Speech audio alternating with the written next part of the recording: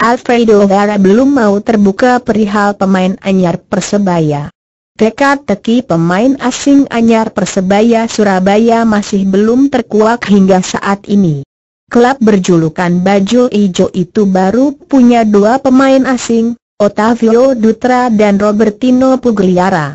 Masih tersisa dua slot lagi, satu pemain dari konfederasi mana pun dan satu pemain asal negara anggota AFC.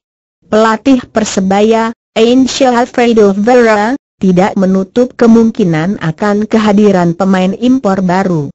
Indikasi itu terlihat dengan keberadaan agen asal Brasil, Antonio Teles, bersama Alfredo dan juga manajer Persebaya, Cairul Basalamah, di bench selama blessing game kontra Sarawak FA di Stadion Gelora Bung Tomo, Surabaya, 18 Maret 2018.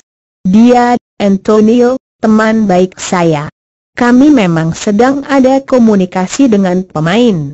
Tapi, masih menunggu karena masih belum pasti, jadi saya belum bisa bicara banyak, kata Alfredo.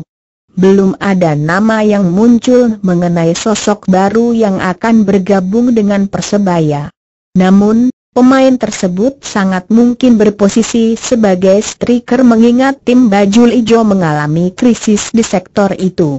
Ditambah lagi, baju hijau hanya punya dua pemain yang diandalkan sebagai target man, yakni Riz Hadi Fauzi dan Ricky Kayame.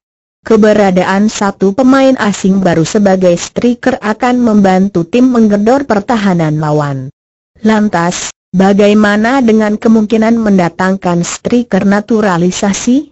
Fenomena itu mulai muncul akhir-akhir dan dilakukan kontestan Liga 1 lain seperti Bali United, Madura United, dan Persib Bandung. Tergantung siapa pemainnya. Kami harus lihat siapa pemain itu.